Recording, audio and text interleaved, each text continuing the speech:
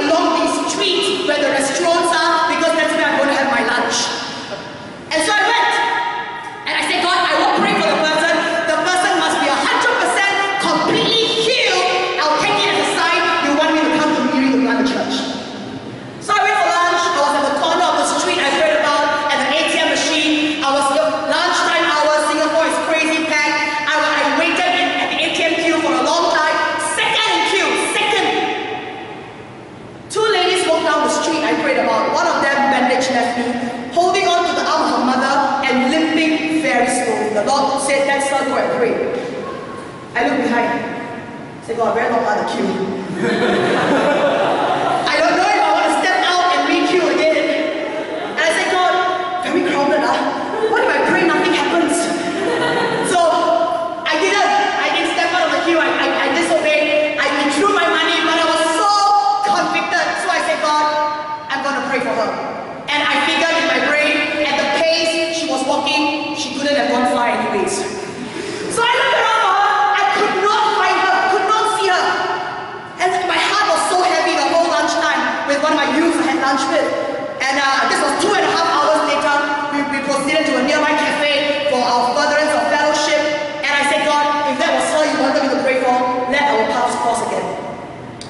Minutes into our cafe coffee talk, they walked into that cafe outlet.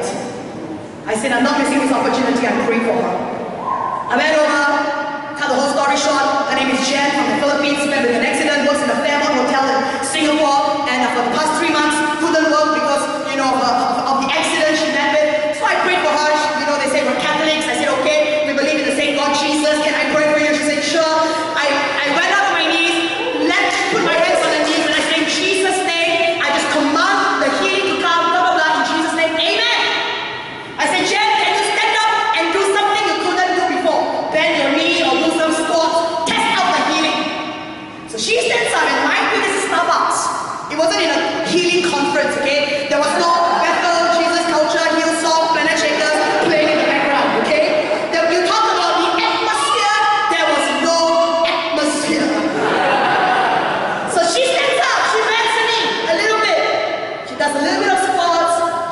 me, she says, thank you, it is so much better. I was not going to take that for an answer. I said, Jen, I believe God wants to heal you 100%. Can I pray again? She said, sure. She sits down, I pray a second time, in Jesus' name, amen. Stand up, Jen, I say, and do what you did just now. She stands up second time. In Starbucks, her mother is like, come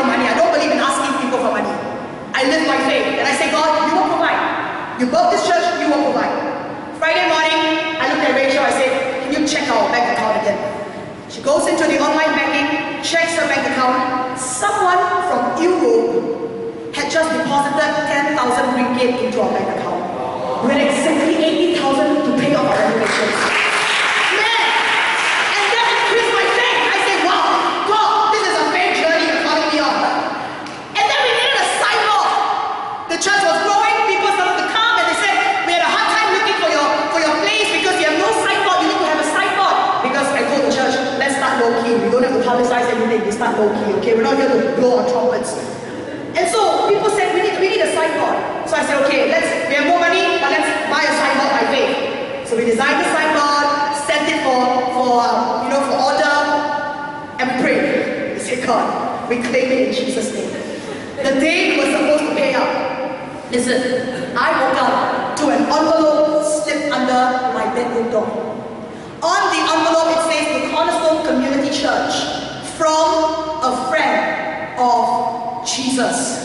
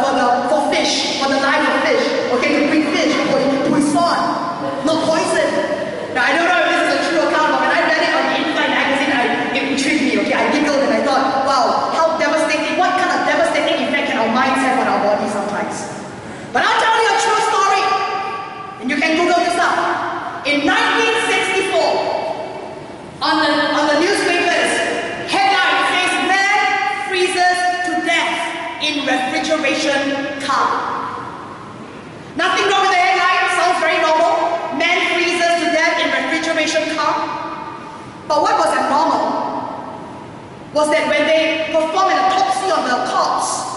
Here, every symptom of having frozen to death, but the refrigeration car was not even turned on. True story, 1964, go and Google. Man freezes to death in refrigeration car. The refrigeration car was not even turned on.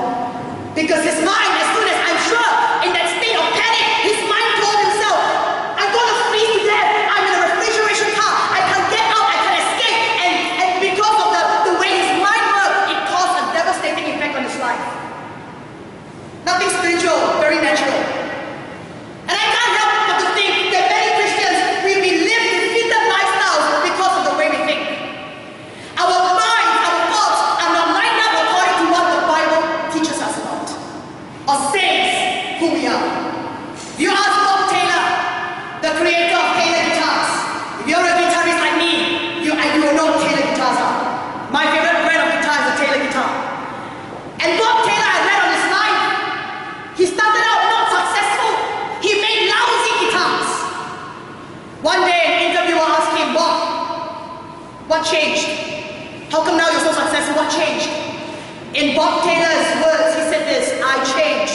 my thinking that changed his life.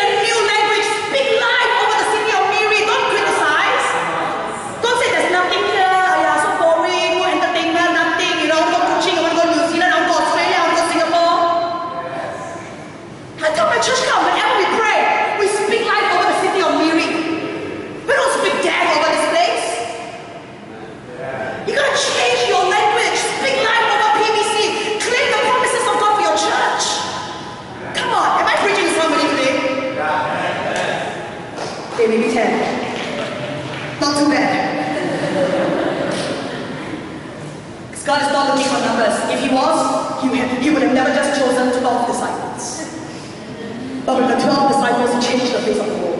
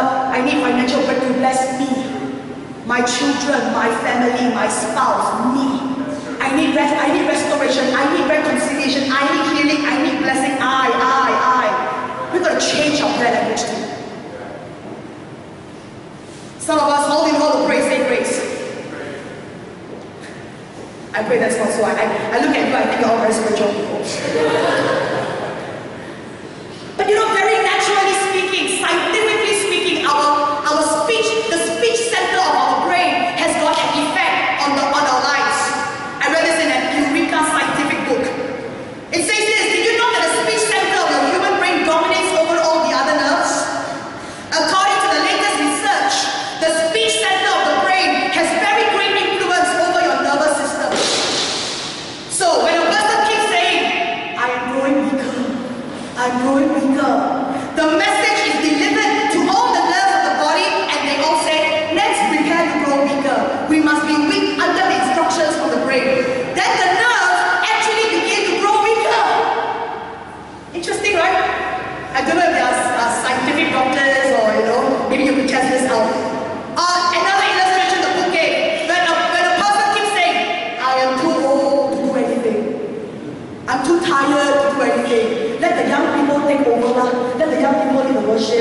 너무 아프고 아프고.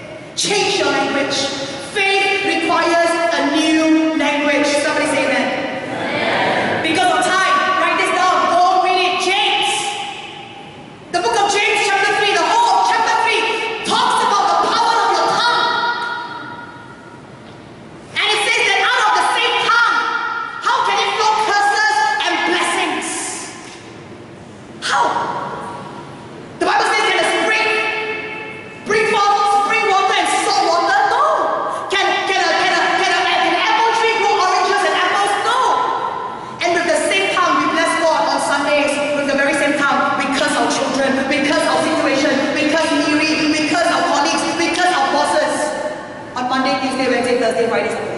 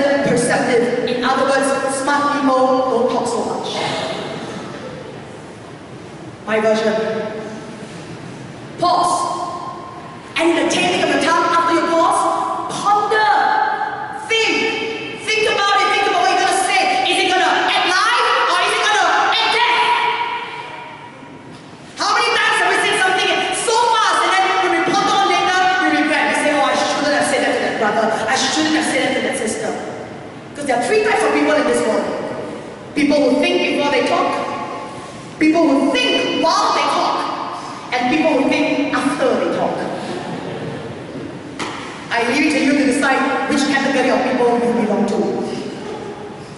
Proverbs 18 verses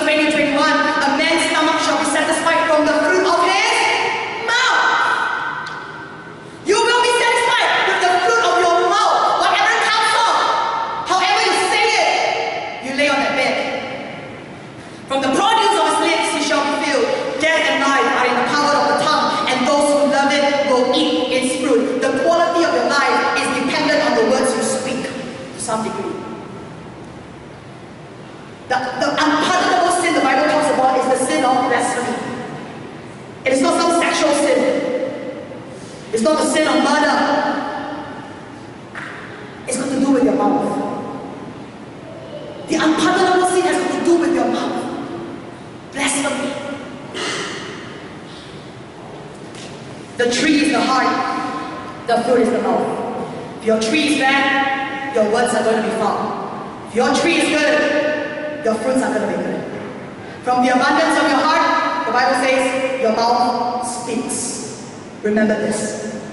The tree is your heart, the fruit is your mouth. When you speak to a person, you can judge the person by the words already. What is coming out from that person's mouth? Gossip? Slander? Backbiting? Crude jokes? Sit down with a person, five minutes, listen to what is coming out from the person's mouth. You can tell what is in that person's heart. Very clear. From the abundance of the heart, the mouth speaks. Some of us are having bad marriages. Some of us are having bad friendships with people. You know why? Because you've got a bad mouth. Speaking death over your friendships, speaking death over your marriage. Ah, my husband can never change. I've known him for how many years, he can never change. Justin Bieber says, never say never. Number three, and I close. Faith requires action. It is visible. James says, show me your faith without your works. I will show you my faith with my works.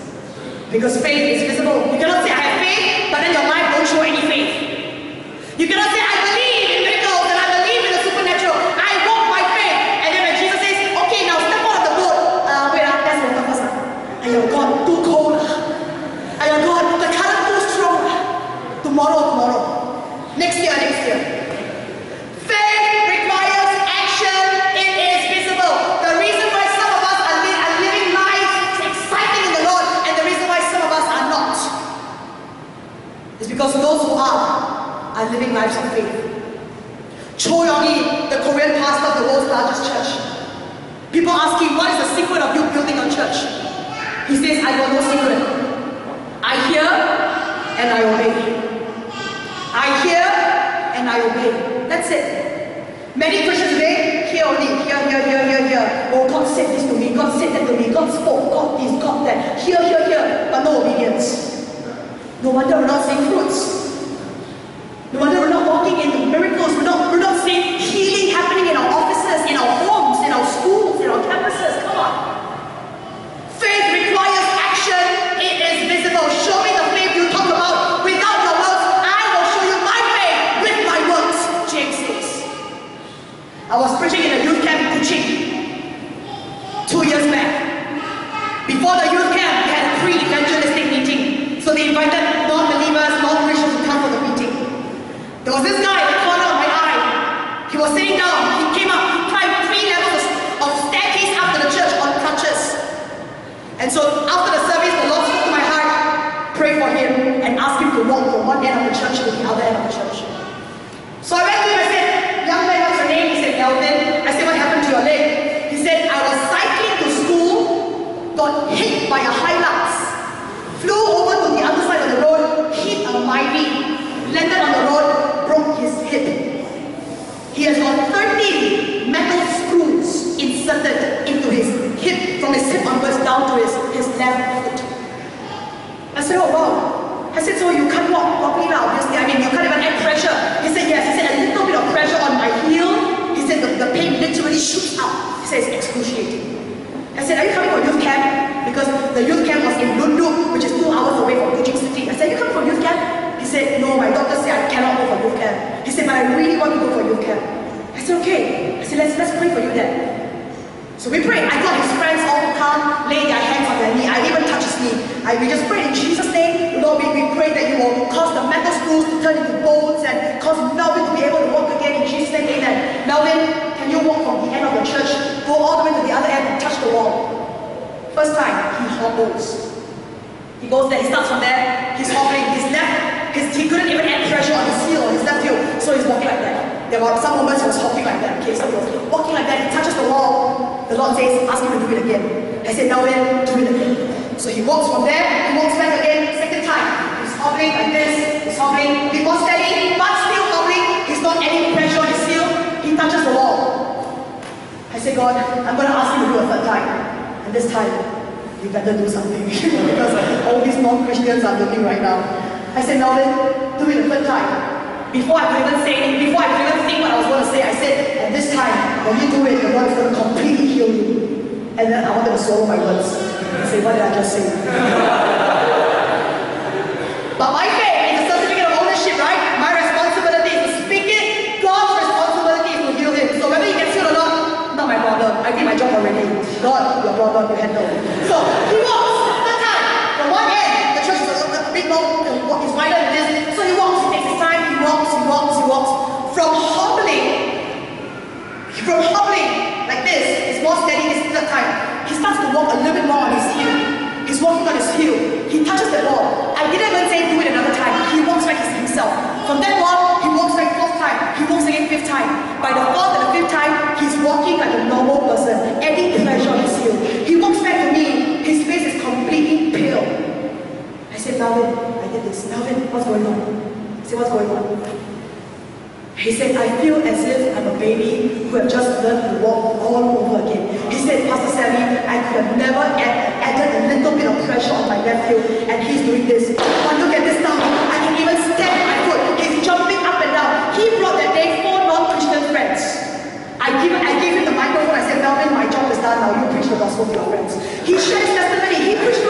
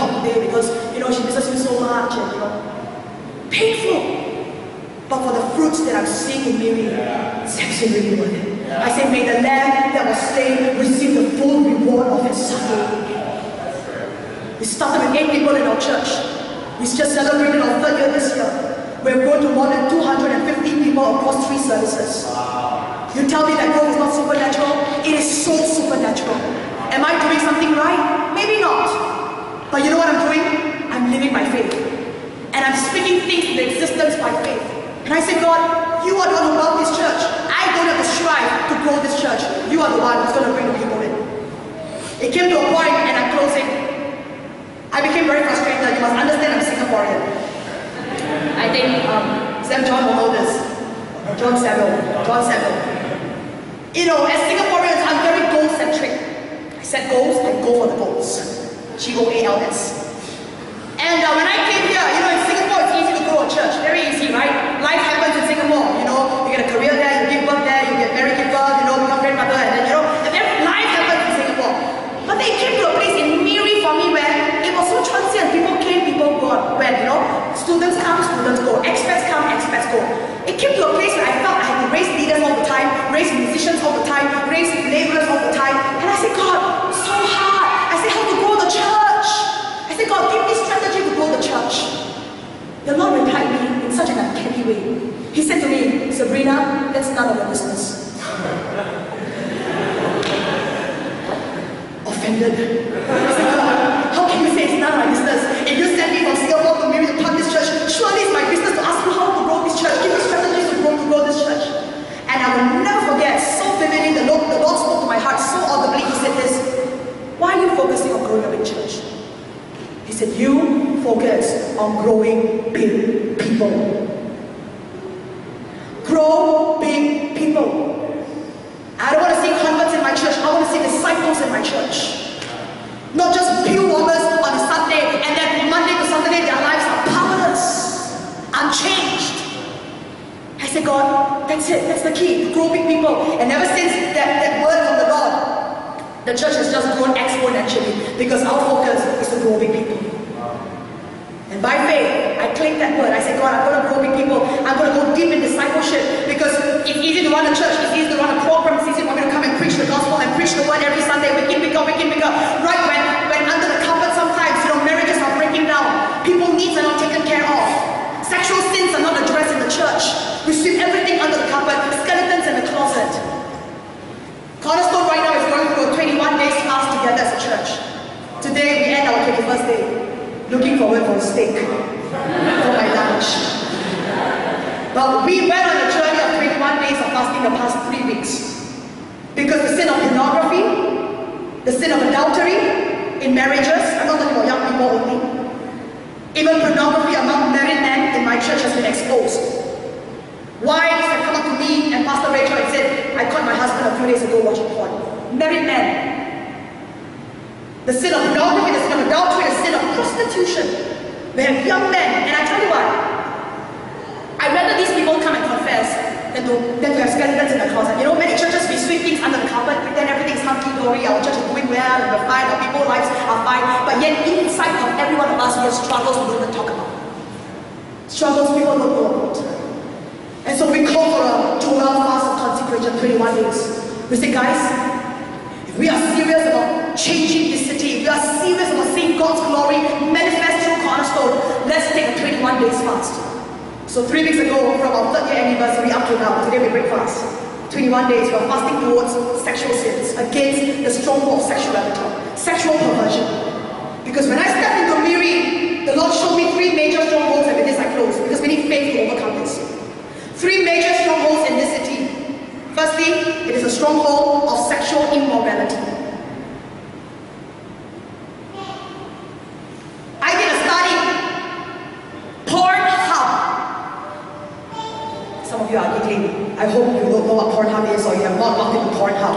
But Pornhub is a website that does statistics and they're the, they're the largest porn distributor in the world. And they did a statistics and, and they did a statistics for Malaysia. Do you know in the whole of Malaysia, ladies and gentlemen, and I did this statistics in my church amongst our young people in the youth service. Statistics have proven in Malaysia itself, the most number of logins into pornography website, number one on the list is Miri. Miri. Mind you, this was done in 2016, last year. Miri. Kelantan lost to you. KK also lost to you. Miri, with a small statistic of population of people as compared to the other major cities in Malaysia, Miri was ranked number one. When I saw the statistic, I nearly fell in my chair. I said, how can this be? I said, sure or not? Did they do correctly or not? When I, when I tell my young people, wow, KK lost to you, everybody share, whoa! I said, shame on you! This is not something you want to be happy and proud about. I told my young people, some of you are the main contributors to this statistic. Woo, we win, Kiki. Nothing to be proud about. I think this is such a sobering truth. Number one, think about that. Miri, small little city, you know. Wow. Pornography, I mean, man, it's, it's a stronghold in the city. Sexual immorality, prostitution is huge. Second stronghold the Lord showed to me was a stronghold of alcohol and drunkenness. I think Miri is known as a drunk town. Even before I came, people already told me, ah, there's nothing in Miri now. You know, it's a drunk town, you know. Even the Bruneians come over the weekend to go to the bars and drink because they learn their wall in Brunei. Drunk town. Sleazy. The third stronghold the Lord showed to me is the stronghold of drug abuse. Drug abuse. I, and I tell my church, For religion. Religion is dead. I don't want to play church. I don't want to come, I don't want my preaching to become a profession. I don't want to be a professional pastor, a professional minister. I don't want to play church. And I say, Lord, restore your power, restore your glory, restore your splendor once again in your churches, in Miri, and let your churches exemplify your glory, your power, your authority in this entire city, and let it overflow out into the entire nation of Malaysia. I dare believe God for that dream to come, to come to pass. Many prophecies have been given. Cindy Jacobs, a credible prophetess. Can I invite the worship team as I close? Cindy Jacobs, when she was preaching in KL, huge conference in KL, she gave the word, Revival is going to come to Malaysia, but the winds of revival is going to start from East Malaysia and it's going to come through the cities in East Malaysia by the coast. When I read the book, I said, God, Miri is a city in East Malaysia by the coast. I said, God, as you've done it in Sarawak, as you've done it in East